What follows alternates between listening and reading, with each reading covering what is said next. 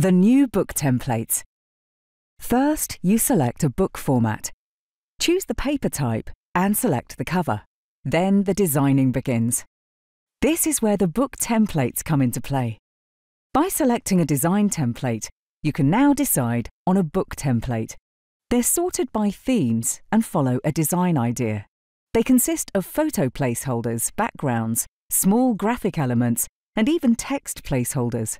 Everything fits together and is coordinated. And most importantly, they can be changed and adapted. To help your decision, you have the title of the template and the I like information. With a click, you'll be shown some pages of this book template in a small preview. This selection can also be extended. Via Download More, directly below the selection, you have access to all book templates. Next, select the book template and confirm with Use Selection. Now the book template will open in the CEWE software. Place your photos on the pages and drag them directly into the placeholders. If a picture is cropped by the template, you can also correct it by clicking directly on the picture using the blue handles. If you need an additional photo, you can insert an additional placeholder by clicking on New Photo above. Use the handles to place and align it. Texts can also be inserted. To do this, use the New Text tool. Write the text in the placeholder. And with the tools on the right, the text can be edited. How can I add additional pages?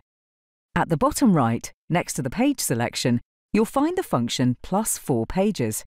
Empty pages are inserted with the click. These will, of course, fit the selected book layout. Change layouts. If the displayed page layout does not match the image set, open the Page Layouts area on the left. At the top left, you can now filter this area. Click on Show All to open the selection. Select Matching the Book template. Next, you can select the number of photos per page. This way, you'll always find suitable layouts for your book template. You can also add backgrounds and clip art to the book template. Open the selection areas on the left. Filter the top left for suitable content for your book template, and then drag them onto your pages. This is the easiest way to use book templates and still adapt them individually to your design ideas. The result is a professionally designed book that you're sure to love.